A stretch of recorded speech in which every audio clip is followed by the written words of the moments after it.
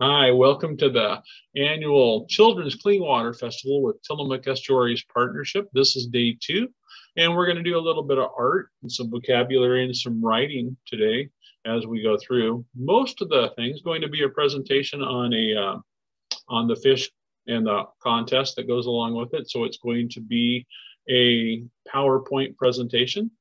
And as we go through, there'll be some things that you'll need to have with you be a good idea to have that packet that we got you all set up with because you're going to want to turn to the fishy art contest and the first sheet you're going to have is going to be the fish adaptations or fishy adaptations. And we'll go through that together and fill it in so that you don't get all panicked. But it's going to be important information you're going to need to know. So make sure you have that with you and we'll go ahead and get started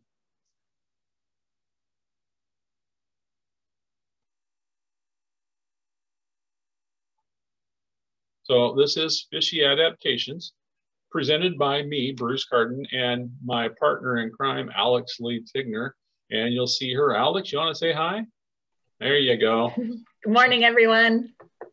So she's going to be in the same room with me, but we've got lots of social distancing between us. That's why we're not wearing any masks. There's quite a bit of distance in between, but you want to make sure you're wearing your masks if you're in school and make sure you're social distancing to make sure everybody's safe. This is brought to you by the Tillamook Estuaries Partnership, and we'll get going without any more ado. So first off, you're going to need this packet. You want to turn to this page that's in that packet, and it's Fishy Adaptations Worksheet, and we're going to go through that together, and I'll help you fill it out. You're going to need a pen or a pencil to write with, probably a pencil with a good eraser, but maybe not. And then markers, and I know you got some of those from yesterday. Or if you wanted to do crayons or color pencils, that would be something you'd have to supply yourself, but you don't have to have those right away because that part's going to actually take place after the presentation itself. First off, if you're looking at that sheet, I'm going to go through and I'm going to give you the answers. Wow, what a deal is that, huh? And then I'm going to have you, when we start doing some of the vocabulary, I'm going to say the word and have you say it with me. And then we'll give you the keywords to write in those boxes. And that will help you in your understanding of what fish need for adaptations to living underwater and to survive. So the first question on your sheet is how many fish are there? Well, there's your answer. It's in orange. There's over 25,000 different fish species in the world. That's a lot of fish and they're all over the world. And so that's a great question to ask is, hey, what kind of fish is this? Well, if you'll look, it says a Chinook salmon, which is one of our native fish in the area, which is very awesome to be able to have that as a representation. And we will talk about what kind of fish it is in a little bit, but I'll give you a hint to start with. It's called an, an, an anadromous fish. And we'll talk about the definition that goes along with that too. So the first answer is 25,000 different fish species in the world. Now this one is not a place for you to write down, but isn't that a cool looking fish? It's called a paddlefish, but you might wonder how many different fish there are in North America. Well, there's over 2,000 or about 2,000 in North America. And that paddlefish is actually found in the Southwest United States and kind of the Midwest. And its range is anywhere from Louisiana clear up to the uh, Minnesota and Wyoming clear over to Pennsylvania because that is the Mississippi River watershed. Because it's not just the Mississippi River, but you have the Ohio River and you have the Missouri River and the Platte River, just to name a few of the real big ones that go into it. But isn't that a whole lot? That's amazing. So that paddlefish is kind of cool looking but there's 2,000 in North America. No place to write that one down, but just an interesting fact. So this one is here to let you know that they're vertebrate. Fish represent half of all vertebrate animals. And a vertebrate is a fish with a backbone or an animal with a backbone. If you've ever caught a fish and had to clean it, when you've gone through and done that process, you probably have come across the vertebrae on that, but you think half of all the vertebrae in the world are fish. That's pretty impressive.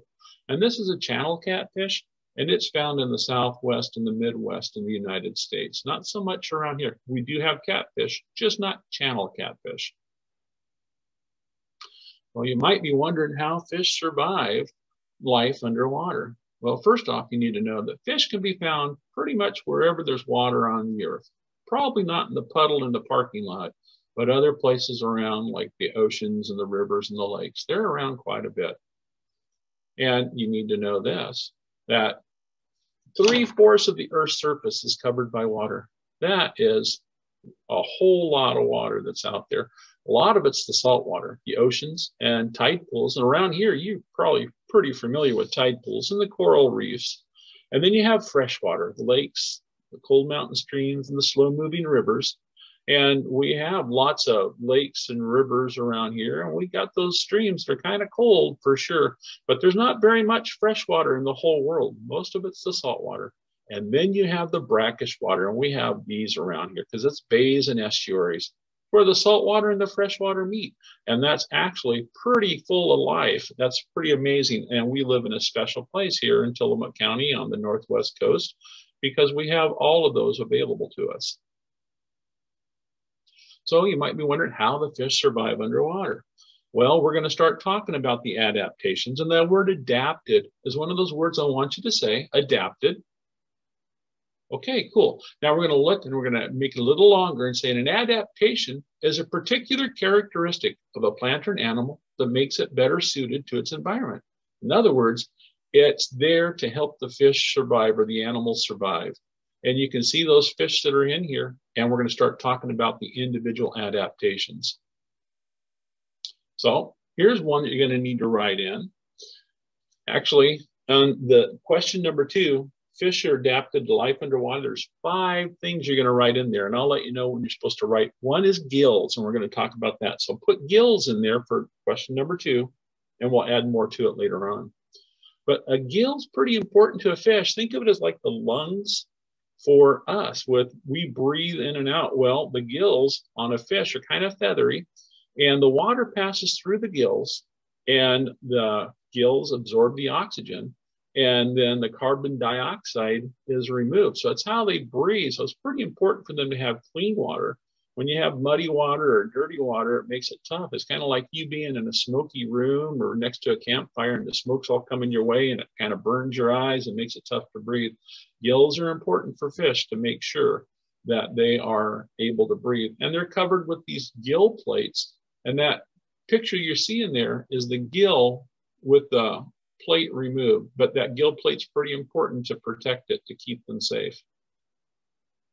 So another one that we're going to put on your list of how are fish adapted are fins. And we're going to go through six different fins here. And you're going to start filling in on the paper the kind of fins when we get to it. But those fins are important for mobilization and, or stabilization and movement as we go. So, so far you have fish adapted to life underwater, gills and fins. And now we're going to look at what each fin does. Okay, the first fin we're going to talk about is on the very top of the fish. It's called a dorsal fin, and it keeps the fish from rolling. So I want you to look at the picture on you got, and on top of the fish, I want you to write in dorsal fin. Why don't you say it with me? Dorsal fin. Cool. And now we want to remember that it keeps the fish from rolling. So dorsal fin keeps from rolling is what you really need to ride in there. So, make, so it doesn't spin out of control when it's fishing. Okay, we're going to go to the next one. This one's cool because it says an adipose fin. Say that one with me, adipose fin. Nice. Okay, so the adipose fin helps with balance in turbulent water. And actually, that's the fin when they talk about this fish has had its fin clipped. That's the fin that they'll clip in a hatchery before they release it. So you can tell the difference between a wild fish and a hatchery fish by the adipose fin. If it's been clipped, it's a hatchery fish. If it's a wild fish, it hasn't been clipped and you know it's there. So the adipose fin, and it helps with balance. So on the box, you want to write in adipose fin and the word balance. We'll go through this at the very end and you'll have kind of an answer sheet you can copy off of if you don't get it all. The next fin we're going to talk about is the caudal fin. Say it with me, caudal fin. Nice. Okay, so the caudal fin, it's going to help the fish to propel and steer. So in your box, on the tail end of the fish, you want to write caudal fin and write propel and steer. Pretty important for that fish to have the caudal fin in place so that it can go through the water. So think like propellers on a boat and to help it steer. So think like a rudder on a boat that allows it to turn. That caudal fin is very important for the fish. Well, they all are important, but that one in particular. Notice they're all cutthroat trout that we're going through. This next one, this one's called the anal fin. Go ahead and say it with me, anal fin. Cool. All right, now that helps with the balance. It's found on the back side of the fish on the bottom, and it's pretty important. So if you want to write in anal fin and then write in the word balance, you'll be in great shape. The next fin we're going to look at is the pelvic fin. And the pelvic fin is helping it to stabilize and helps with balance. Notice a lot of these fins help with balance on these fish. But the pelvic fin is found right in the middle of the fish, just like you have a pelvis in the middle of your body. The pelvic fin on the fish is right in the middle of the fish, and it helps stabilize it so it doesn't spin out of control, and it helps it with the balance. So write that one in under, you'll find the pelvic fin that's there. And then the next one is the pectoral fin. And that helps with the diving and the swimming to the surface and the remaining stationary. Pretty important for this fish. Pectoral fin, say it with me. Pectoral fin. Cool. Now you're going to want to write in the word diving and surface and stationary. So diving, yeah, I think you get diving in, you know, you're going under the water, but they need to come up to the surface sometimes too. So that fin will move and adjust so that the fish can go through one way or the other, either go down or go up. And sometimes it just wants to stay stationary. If you see a fish that's just kind of staying in one spot, that's stationary. And you're watching those little fins are just kind of moving back and forth, helping them in that stationary process. Hope you're doing a good job getting this stuff down. I bet you are. And then what are some of the adaptations that help us survive? Remember that question number two? This is another word you're going to have to write in. After gills and fins, you have to write in swim bladder. So write in swim bladder. And think of it as a balloon. If you don't sure how to spell it, it's on the screen. But think of it as a balloon. That's an airtight sac that's inside the gut area and it regulates flotation and buoyancy. In other words, when it gets full of air, the fish comes up. You see the red arrows going up. And when it wants to go down, it lets that air out and it lets it sink down. And if it wants to stay about in the middle of the water, not go up or down, it's about medium fill. That's pretty important for allowing that fish to move where it needs to go up or down. But the swim bladder, every fish has one that allows them to move up or down. And that is the dotted line one that's on that fish. And there's a spot that goes up to it or it goes, it comes from the top and goes down the swim bladder. And I put regulates buoyancy. And if you're going, can't remember that, you can put a little arrow next to it for up, a little arrow for down, and a little arrow off to the right that says for, it'll help you to remember, it goes up or down. Okay, now another thing you're going to put in there is scales. This is on question number two. So we have gills, we have fins, we have swim bladder, and we have scales. Now scales, there's four different kinds of scales. And you have the placoid, which is on the shark. It's kind of an interesting looking thing. It's sharp pointed, it looks like, but just think shark and thinking shark's teeth pointed. It'll help you on that one. And they have the ganoid scale. That's on a gar. A gar is kind of a long, skinny fish, and it's more in the southwest part of the United States. We don't really have them around here. They're not native. If they're here, they're an invasive species. And then you have the ctenoid, which is on a perch. And then the last one that we're really going to look at is the cycloid, and that's on the salmon. So I think salmon, uh, trout, those types of things. And there's some interesting information if you look up, it talks about you can actually tell the age of a fish by its scales, particularly on a cycloid. So you don't have to write those kinds of cells down, but or scales down, but we do want the word scales written in there.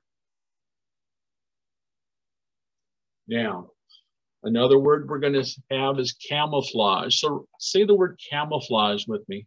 You're probably pretty familiar with the word camouflage because you tend to hear it a lot.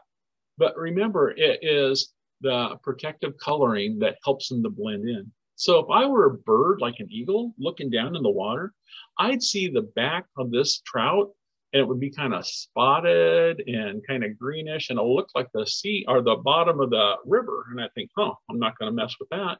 Or if I were underneath and I was a bigger fish and I was looking up, it's kind of white, looks like the sky up above, and it kind of helps it to blend in too. So camouflage is kind of an important word.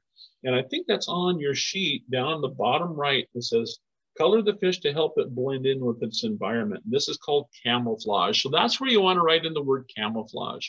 And I couldn't write it on the blue, so I wrote it on the white right underneath it. But camouflage is an important part of the adaptation for the fish to help it survive. So you want to have on question number two, you want to have gills, fins, swim bladder, scales, and camouflage. And you got all five that you need. I bet you're doing great getting that down.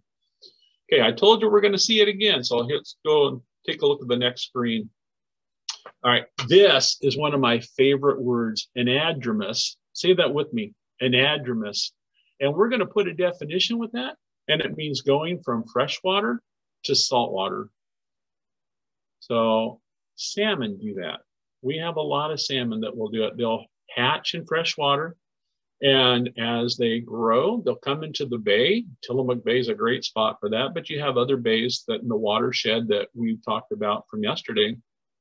And they will hang in there till they're old enough and they get acclimated of the salt water. And then they'll swim out in the salt water and they'll go for three to five years and they'll swim as far away as Japan or as far north as Alaska. And then something inside of them tells them it's time to come back home to spawn. And they'll come back only to the estuary that they left. So if they are from Tillamook Bay, they'll only come back to Tillamook Bay. When you think about the whole west coast of the United States, that's pretty impressive. And then once they get to the bay, they'll only go to the river that they came out of. So if they came out of the Trask River, they'll only go to the Trask River to go ahead and spawn. That's pretty cool. So say that word with me again, anadromous. Sweet, nice job, folks. Okay, so that is also on your sheet and um, it is talking about where that's question number three. And says some fish can survive in both freshwater and saltwater and spend different parts of their lives in each. These types of fish are anadromous. Nice. Okay, let's check this out. This is the answer sheet, so see how you did.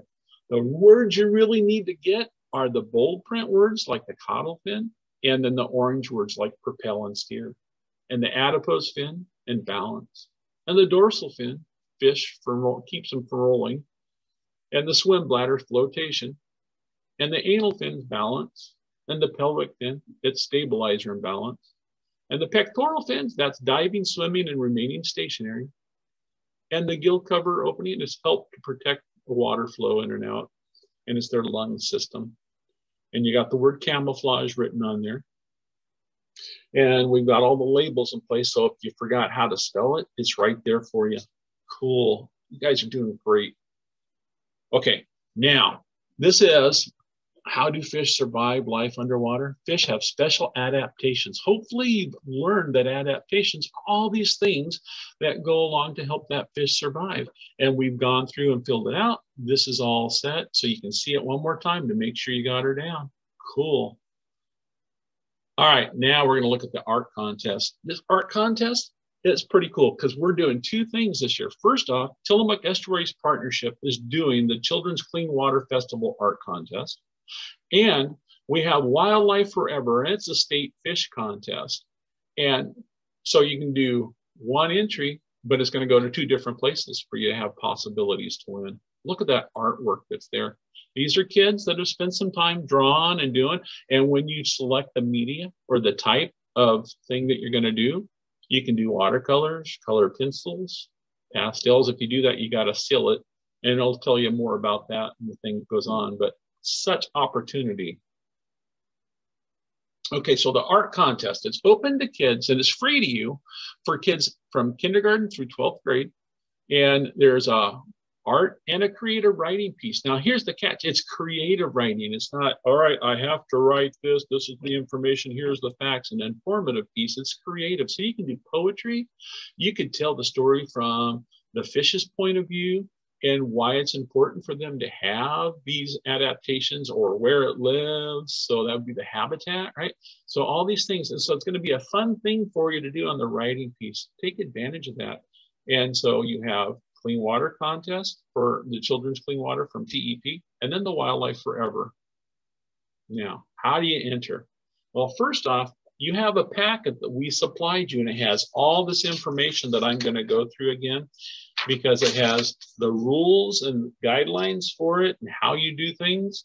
And then it also has the entry form and everything. So you have it there, but you can also go to a website I'm going to give you later on that will tell you all the same stuff. But first, and probably most important, is it has to be original.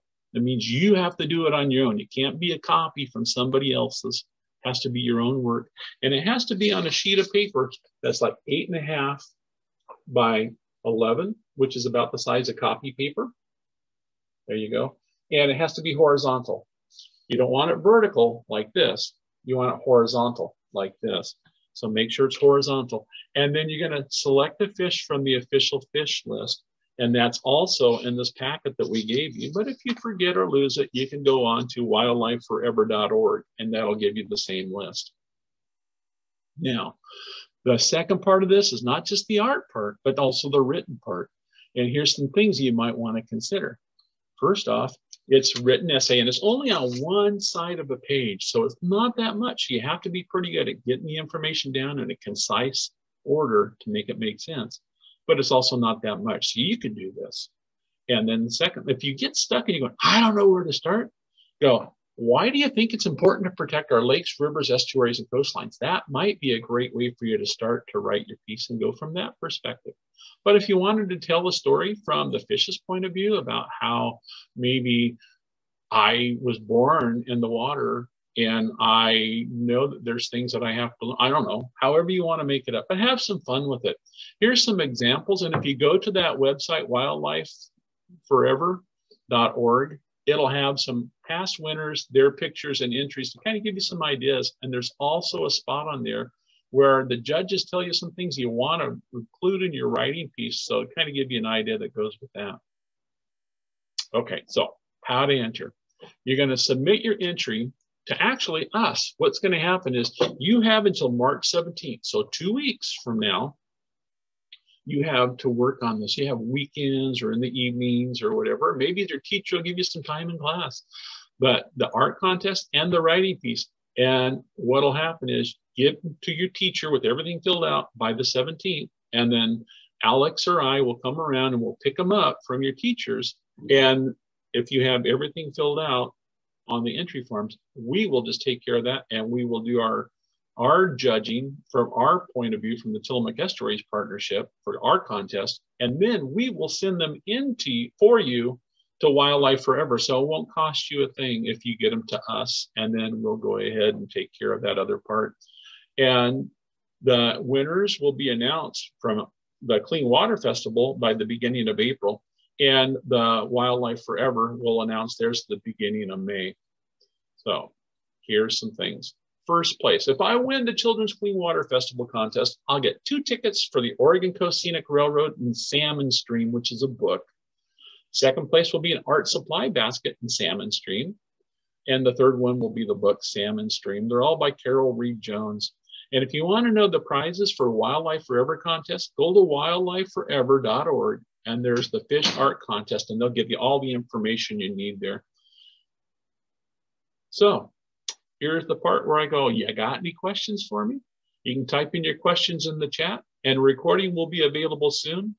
Yesterday, we got it all set. We got it recorded, but we didn't get it uploaded onto the TEP website, but it will be today. For yesterday's on the watershed, and hopefully we'll get today's up today for this as well. Don't forget to check out the online exhibit hall at the uh, TEP website as well.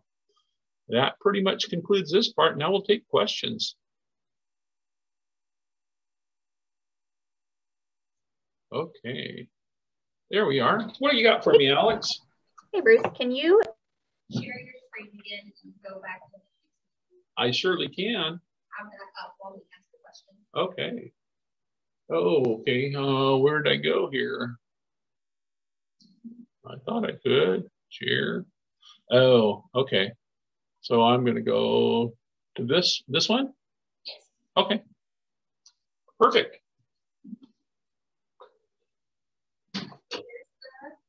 Answer sheet for, the, uh, for those of you that didn't get all the answers as we were going through. That's a good question. I'm glad you asked that so we can get it up for you. Yeah. So some of the questions we have are um, wanting to learn about well, that's part of our world that we live in, and we want to make sure that all animals are taken care of and are safe. And so we need to make sure that um, the whole purpose of the Tillamook Estuaries Partnership is to try to ensure that we have clean water, not just for us, but for the animals who live there.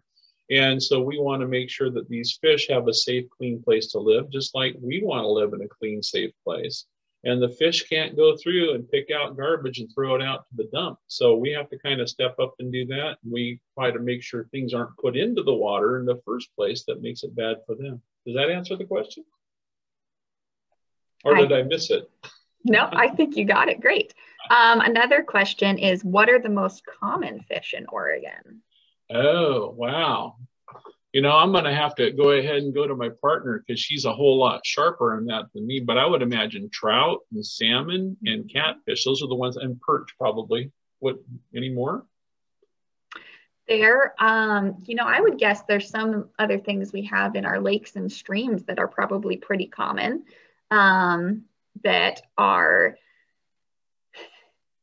um, what's the word I'm looking for? I just lost the word that I'm looking well, for. Well, you'll have bass that are out there. Because mm-hmm. when I mm-hmm. grew up in Southern Oregon, we'd go fishing for bass and crappie and catfish and trout. Those are the ones. But it's more time, what area are you living in? And then you kind of learn the fish that are there. So when you go out fishing or want to take care of them, you'll kind of know what they are. Mm-hmm. Um, and then we did have some more questions about how do they enter the art contest and how many winners there are. Um, so the art contest, there's information in the packets. And if you don't have the packets, that information will be shared on our website um, later today or tomorrow. Um, or you can go to wildlifeforever.org to learn about the state fish art contest. Um, I do want to say this part I forgot about in the packet. There's a state fish art contest guided research form. Mm-hmm. So when you select your fish off of the official list of fish, okay, you're going to have to go off the official list of fish. And there's some specialty fish, so you want to select those. But use this as a guide for your research. And you don't have to write complete sentences, just get down the information. And then when you go to write your paper, that's when you want to put in your complete sentences. And it has some great, like, what's the species name and the size and the appearance, life expectancy, what does it eat, what eats it.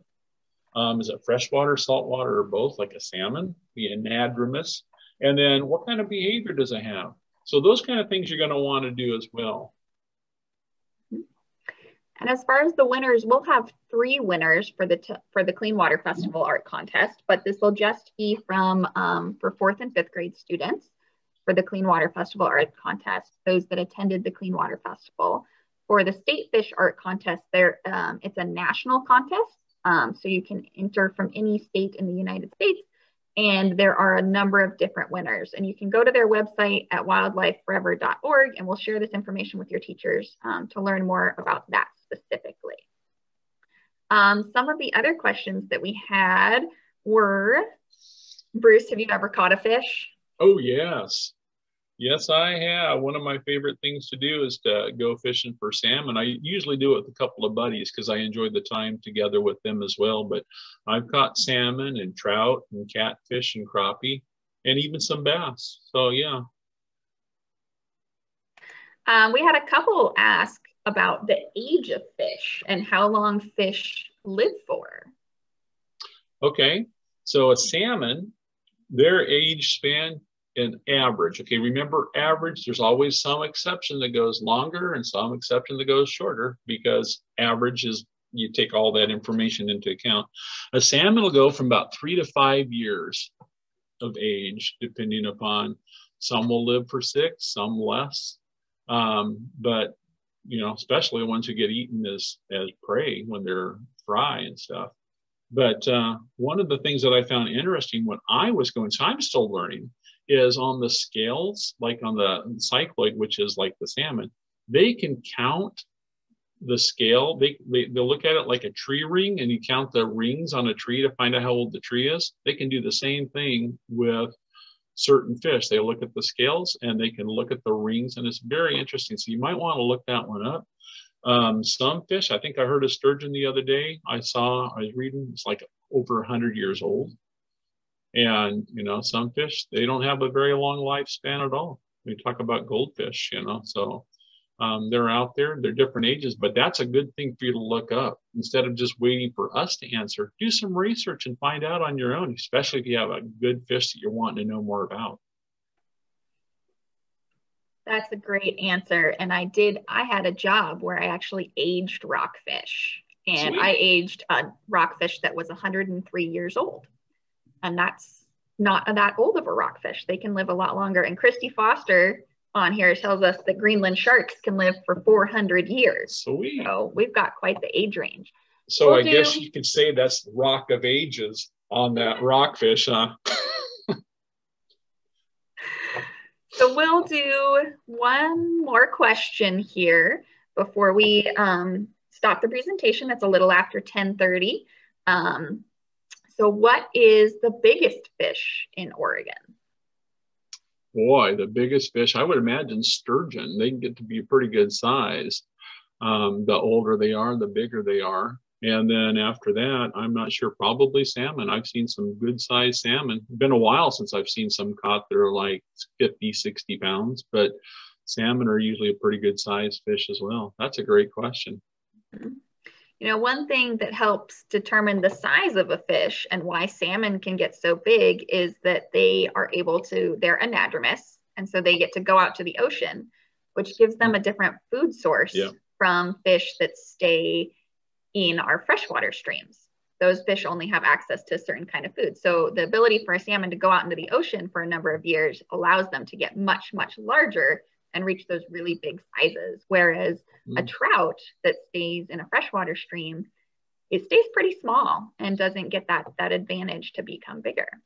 So, Alix, a question I've got for you that I've heard in the past, just want a confirmation is the reason that salmon have pink flesh is because of the food that they eat. Is that correct? That is correct. Yeah. So, if you've eaten salmon or caught a salmon, you'll see that their flesh is a very pink color. And that's because one of their primary things that they eat is krill or things like small um, shrimp. And those are pink themselves. And that pigment or that coloration is then brought into the color of their flesh. And so they end up turning pink. Very cool. So that's, we'll call it good for today. Nice. And we thank everyone for attending.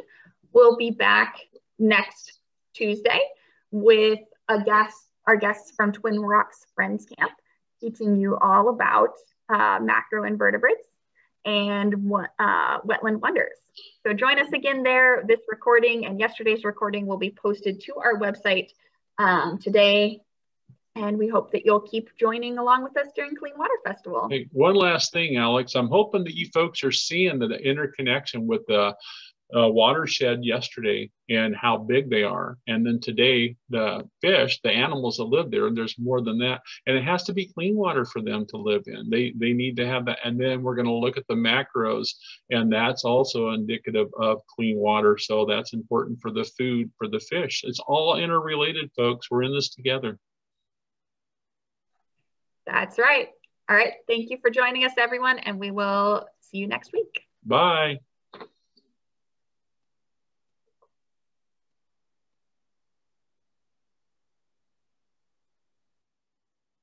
Okay. You're gonna have to end it. Oh, I didn't have